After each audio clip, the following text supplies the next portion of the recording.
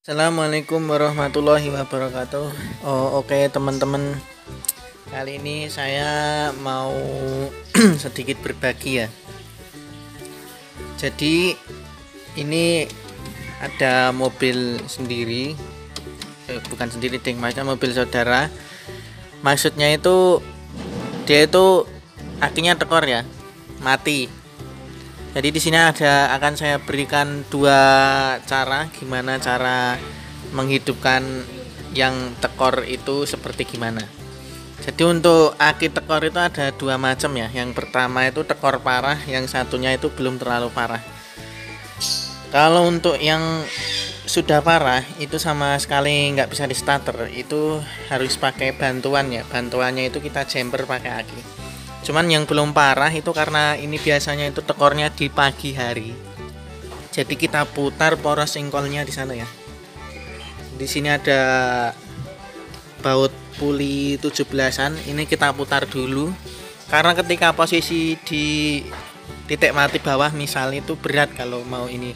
Biasanya kalau kita posisikan di titik mati atas itu ringan. Nah itu cara yang pertama karena kita cari yang gampang dulu kita putar pulinya ya.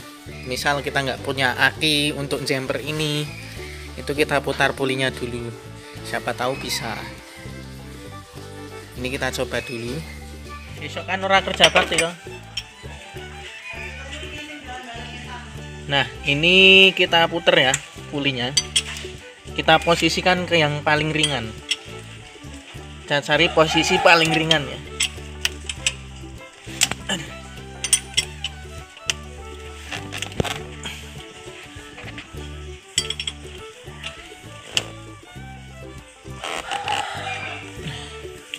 kemudian kita coba ke mobilnya. Apakah mau?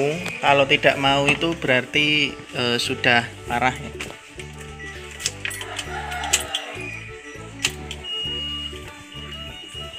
tapi ini aksesoris masih bisa ya tuh masih lancar. Jadi karena ini tuh berat tetap tidak mau ya. Tidak mau di starter. Tidak mau.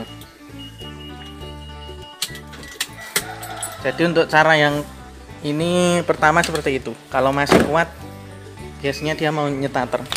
Diputar power singkolnya oh, kemudian untuk cara yang kedua misal nih kita di rumah nggak ada mobil lagi. Karena kita kalau pinjam aki mobil kita nggak ada. Terus bagaimana nih caranya? Biasanya kalau orang punya mobil itu juga punya motor ya. Dan di sini saya pakai punyanya aki motor. Aki motor ya terserah yang masih bisa lah. Saya pakai punya beat. Sebenarnya akinya semuanya sama yang penting cuma buat pembantu ini doang kita bantu pakai aki motor untuk menyalakan si mobil ini.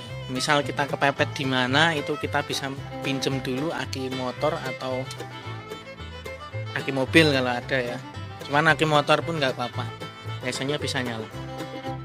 Ini kita coba. aki motor sendiri itu seperti ini ya akinya ya. Nah ini Honda. Ini punyanya Beat. Ini kita pakai kabel plus dan min untuk pemasangan aki biasa kita masang.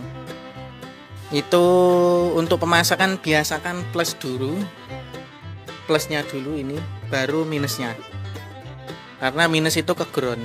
Jadi kalau kita pasang minusnya dulu kemudian yang plus nempel salah satu di body itu maka akan terjadi konslet atau meletik lah percikan bunga api.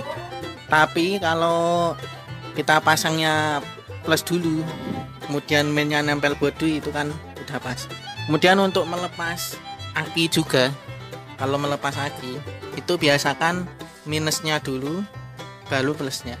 Jadi kalau melepas min dulu baru plus. Kalau mau masang plusnya dulu baru min oke ini kita pasang ya karena ini saya megang HP nya jadi tak untuk pencemperan itu seperti ini ya. Ini plus dapat plus di sini plus kemudian di sini main dapat juga body atau mainnya langsung kalau kabelnya cukup ya cuman main itu nyambung ke body nggak apa-apa jadi ini kita coba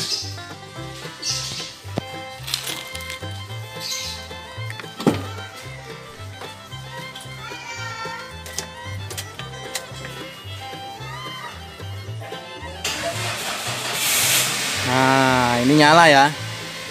Mobilnya ya.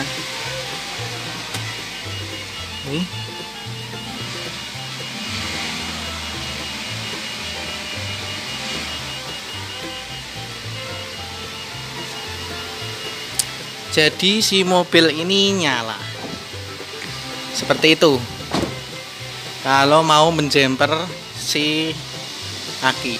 Jadi ada dua cara. Yang pertama kalau akinya udah tekor belum parah itu kita putar pulinya dulu pulinya kita putar biar nyampe yang enteng dulu diposisikan ke posisi yang paling enteng kemudian kalau udah nggak bisa parah itu kita jumper akinya seperti ini. Kita bisa pakai bantuan uh, aki motor atau aki mobil. Cuman di sini karena punyanya aki motor jadi kita pakai aki motor nggak apa-apa. Seperti itu ya tapi sebenarnya itu untuk tekor uh, susah di starter itu biasanya cuma di pagi hari. Jadi kalau ini udah dibawa jalan itu biasanya udah ngisi itu bisa. Cuman ya sebaiknya kalau udah seperti ini itu diganti ya. Karena ini itu udah parah sehari nggak dipakai itu langsung tekor. Itu udah parah biasanya. Karena untuk sistem mobil baru seperti ini itu semua itu udah pakai elektronik ya. Entah itu power steering entah itu uh, si remnya aja udah pakai elektronik jadi semuanya itu udah pakai. Jadi sistemnya itu lebih berat.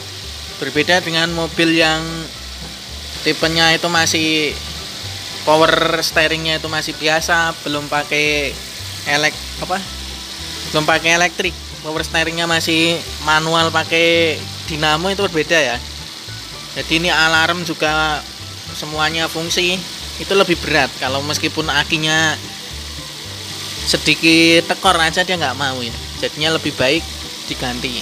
Mungkin udah waktunya ganti ini mungkin masih bawaan ini tahun berapa mobilnya? Tahun 2017 kalau nggak salah. Sekarang udah tahun 2020 satu apa dua? Satu. Jadi biasanya udah berapa ya? Empat tahun.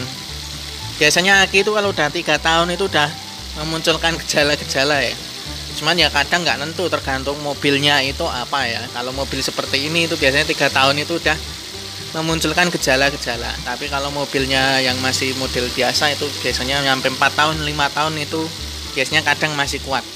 Kayak mobil saya Baleno itu lima tahun masih kuat. Baleno yang lama ya. Nah untuk kemudian kalau setelah nyala ini kita lepas seperti ini nggak apa-apa ya.